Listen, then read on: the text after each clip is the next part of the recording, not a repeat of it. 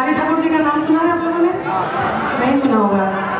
नहीं सुना होगा। हाँ आप, आपके दोष नहीं है। ये इन इन अ वे हम तमाम कलाकार जो ड्राइंग रूम में बैठ के बहुत बात करते हैं बड़ी बड़ी बात लेकिन जब भोजपुरी को भोजपुरी की साहित्य समृद्धि जो भोजपुरी है उसको जब लाने की बात आती है तो हम लोग ड्राइंग रूम में ही टीवी देख के बात करके चुप हो जाते हैं। हम काम नहीं करते। इसलिए आप लोगों को पता नहीं कौन है भिखारी ठाकुर। कोई बात नहीं।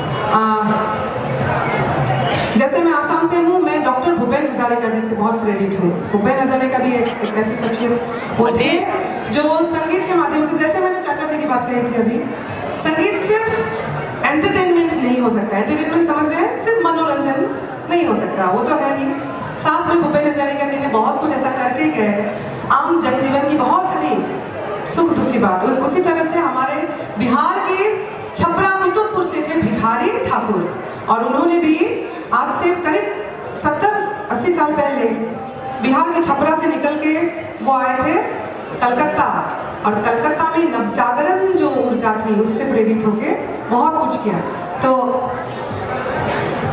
उन्हीं के रचना एक है आ, हरदम बोला शिव बम बम बम बम। उस रचना को आ, हमने करने की कोशिश की। आ, मैं चाहती थी थोड़ा सा मैं कल एक्चुअली उसी गीत को शूटिंग करने के लिए मैं थोड़ा सा इधर ही रहूँगी। और मैं चाहती हूँ कि आप लोग भी कावड़ियों के भेस में पूरे एकदम गेरुआ वस्त्र में हमारा साथ देकर। आप लोग फ्री है?